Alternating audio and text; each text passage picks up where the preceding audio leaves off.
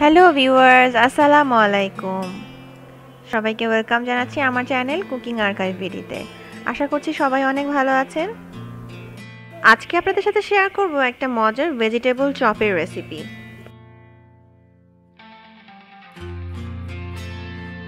প্রথমে একটা প্রেশার কুকারে নিয়ে নিচ্ছি এক কাপ পানি। মধ্যে একে একে কিছু সবজি দিয়ে দিচ্ছি। প্রথমে দিয়ে দিলাম ফুলকপি। এখন দিয়ে দিচ্ছি বাঁধাকপি। দিয়ে নিচ্ছি গাজর। আলু।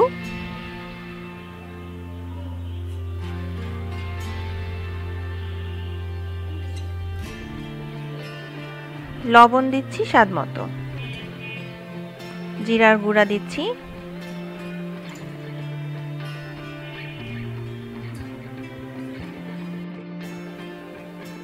মুহুরির গুঁড়া দিচ্ছি। দিয়ে দিচ্ছি তো আদা বাটা, একটু রসুন বাটা, আর একটু হলুদের গুঁড়ো।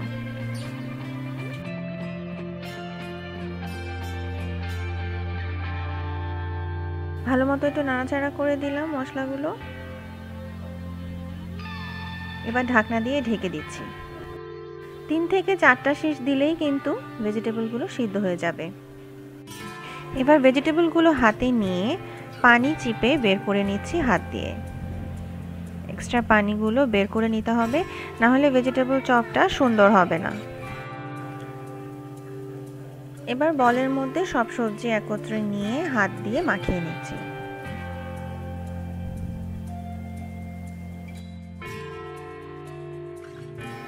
দিয়ে দিচ্ছি একটা ডিমের কুসুম, পেঁয়াজ পাতা, কাঁচামরিচ কুচি,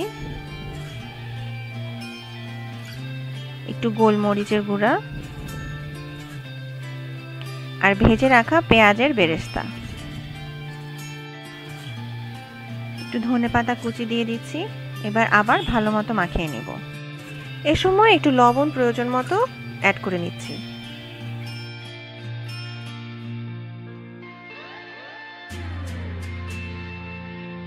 এবার চপগুলোকে হাতের সাহায্যে পছন্দ মতো আকার দিয়ে প্লেটে সাজিয়ে রাখছি।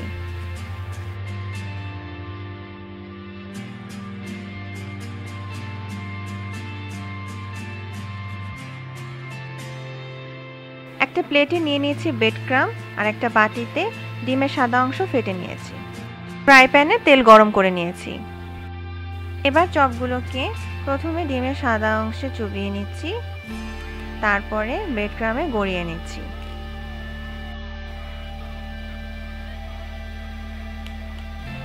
এরপর সরাসরি গরম তেলে দিয়ে দিচ্ছি চপগুলোকে। এভাবে সবগুলো চপ গরম তেলে একে একে ভেজে নিচ্ছি। খেয়াল রাখতে হবে যে অতিরিক্ত আঁচে যেন চপগুলো পুড়ে না যায়। মাঝারি আছে চপগুলোকে ভাজলে সবচেয়ে সুন্দর হবে।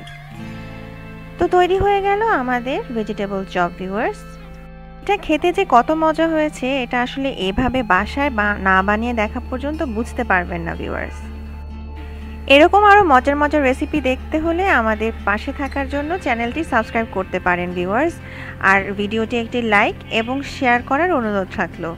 আল্লাহ হাফেজ।